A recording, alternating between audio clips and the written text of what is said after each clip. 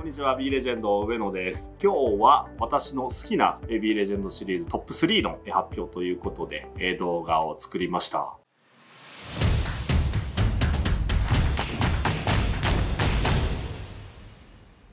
じゃあ第3位なんですけど私が好きな第3位はパッションフルーツです。理由で言うと、まあ、すっきりして飲みやすい酸味があるっていうところで飲みやすいです。結構トレーニング後とかに、えああいうスッキリ系の味が欲しいなというふうに思って飲むことが多いです。で2位2位はね同じ系統なんですけどベリーベリーさん。でベリーも同じ理由なんですけど、まあ、すっきりしててトレーニング後に飲みやすいっていうところ、まあ、ベリーって原料が牛乳っていうところがあるので、えー、ヨーグルトのような風味があってそれがすごく気に入ってます。すごく人気のあるフレーバーでもあります。でいよいよ1位なんですがこれがねもうずっと言ってるんですが1位は抹茶です。ねえこれはねもう手前味噌で恐縮なんですがもう名作だと思います。あの水で溶いても美味しいんですがよりこう甘さを豊かにというところであれば牛乳で割るのは本当に某シェイクのようなそれくらいのクオリティが出るものだと思っています。で個人的には仕事の合間でオートミールをボリボリ食べたりするんですけどオートミールの相性が一番いいのが抹茶だなというふうに思ってトレーニング後もそうなんですけど、まあ、服みたいな言い方すると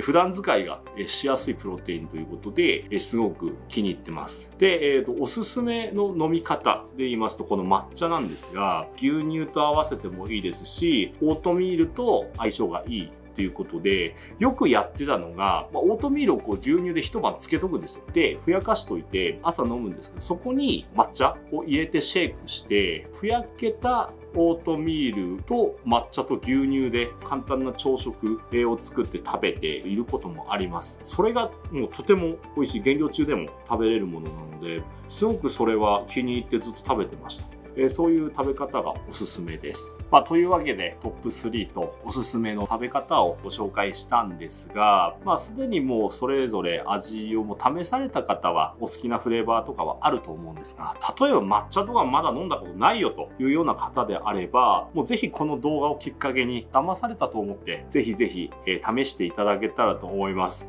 え、お試しパックもありますので、最初はおっかなびっくりでもいいかと思うんですが、試してみて、それがもし気に入っていただけたのであれば、私と一緒にこれからも伸び続けていただけたらと思います。ぜひお試しください。さよなら。